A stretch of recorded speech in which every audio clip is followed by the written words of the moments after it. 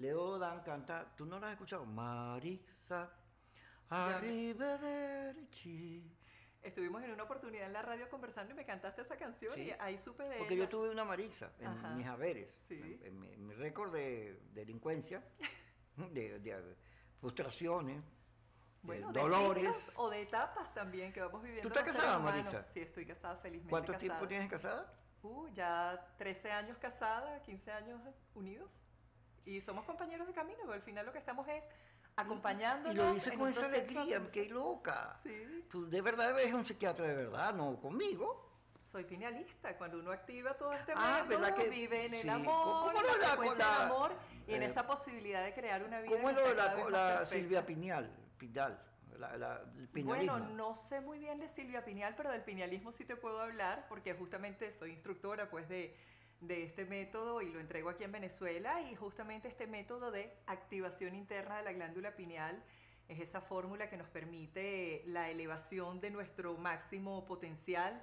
eh, la ¿Sí? activación, ¿sí? Elevación de, de frecuencia fundamentalmente y justamente... sí, hoy día fíjate te- tú que se habla muchísimo de todo lo que tiene que ver con eh, equilibrar nuestras emociones, pensar positivo, transformar nuestra vida y el punto es que muchas Ay, tú veces... deberías, deberías dirigir la MUP y el G4.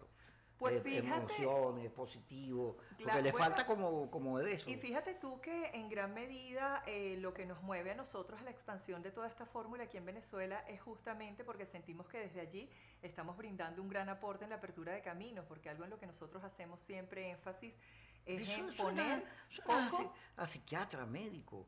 Sí, tú, pero tú no eres. Bueno, es que fíjate tú que de hecho cuando uno habla de método de activación interna de la glándula pineal, muchos piensan como en una cosa médica y esto simplemente es algo a lo que asiste todo ser humano Sí, pero que quiera reconocerse a sí mismo, saber... pero yo no vine a hablar de la glándula esa. No, sino de mí. De ti.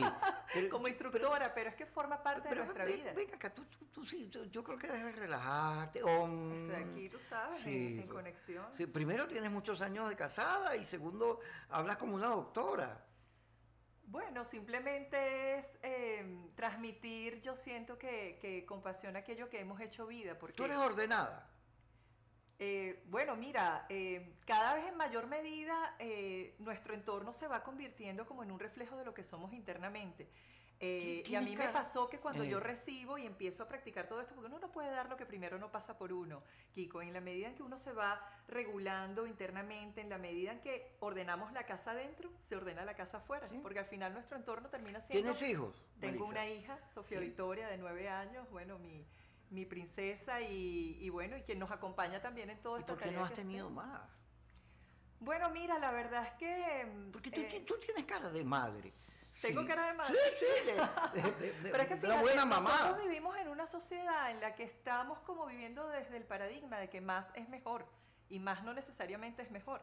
Tener Yo más quisiera que tener más plata, yo quisiera tener más plata. Bueno, y el punto es para qué. ¿Sí? Ah. Enfoquemos Ay, mi amor, más que no tiene plata, eso no- ni te pregunta. Bueno, fíjate tú que de hecho nosotros hablamos mucho de lo que es el concepto de la opulencia, que es muy distinto a la abundancia o a la riqueza. Cuando nosotros hablamos de la opulencia, hablamos de la abundancia de toda buena cosa.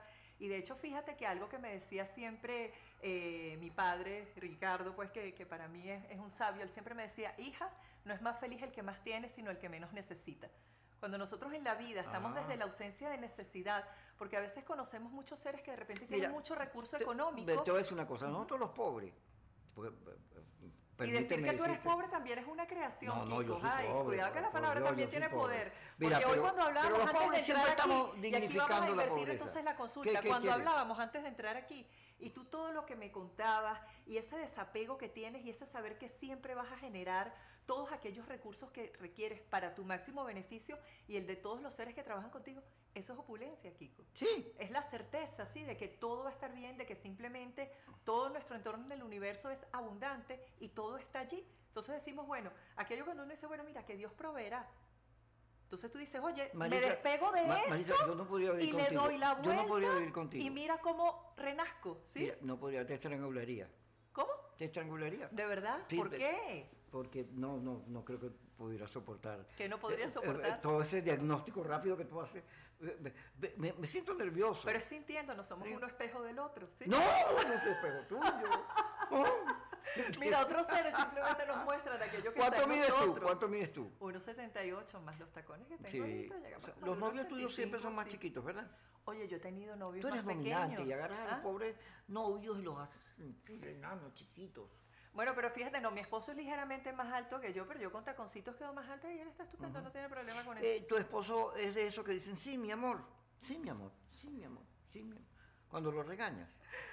Es que no lo regaño, chicos. Ah, te creo, tú tienes cara de, de, de, de- la cartilla 1. Bueno, mira, la verdad es que llevamos una relación. Mira, además, tú sabes que, tú sabes que eh, eh, hay unos trucos para descubrir cuando la gente está fuera de foco. Sí. Eh, que cuando empieza a mirar para arriba. Ya Bueno, te- el ya lenguaje corporal, porque definitivamente nuestro cuerpo es un instrumento a través del cual el ser que somos se, se manifiesta y, y- y justamente el gesto delata pues toda, todo aquel pensamiento y aquel sentimiento que Además inspira nuestras acciones. Puyú. Sí.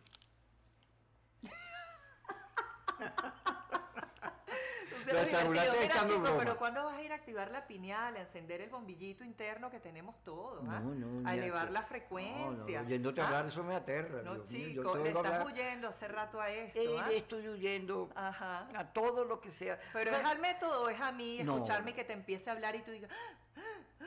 Mira que eso pasa en nuestros seminarios, la gente llega así y empieza a escuchar y entonces la gente empieza y que, "Ah, con razón, y con razón, y dígame cuando hacemos el mapa de rutas, ay, yo te quiero ver con el mapa de ruta y lo traemos aquí y lo enseñamos, que es un autodiagnóstico energético de cada Tú ser. me recuerdas a las ¿Ah? vendedoras de Avon. ¿Ah, sí? Sí. Sí, ¿cómo, cómo? Sí.